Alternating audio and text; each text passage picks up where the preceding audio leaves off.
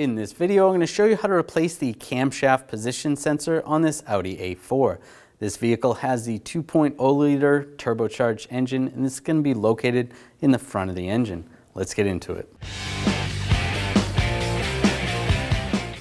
I'm going to remove the engine cover, just grab underneath, just pull up. There's just some grommets holding it on. Now we're going to disconnect the connector. You can see it's right here. I'm just using a pick.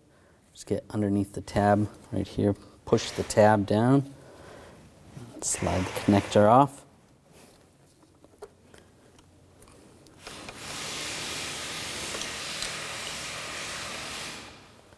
Just using two picks. It's a little bit tight in there. Just disconnect that connector. Move that to the side. Using a T30 bit, we're going to take this screw out. It's going up.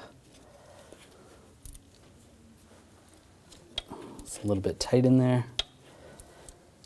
Get that loosened.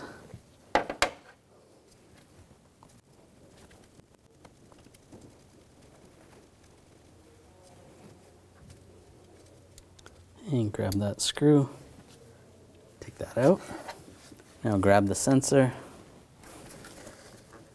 you can just twist it back and forth a little bit. Wiggle it. Slide it down. And comes right out. Now take the sensor. You can put a little silicone on the O-ring. There's some silicone lubricant. And then slide it in place.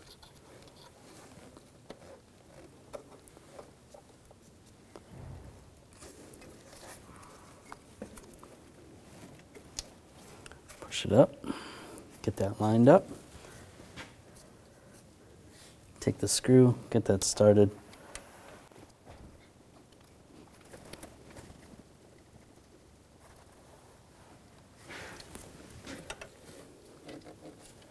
And we'll tighten that down.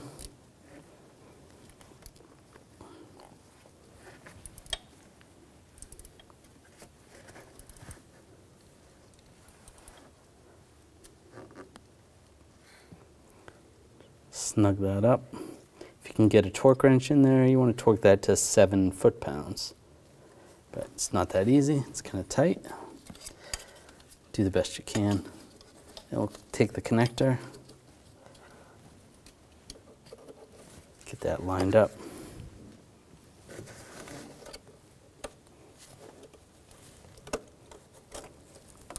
Lock that in place. That's good.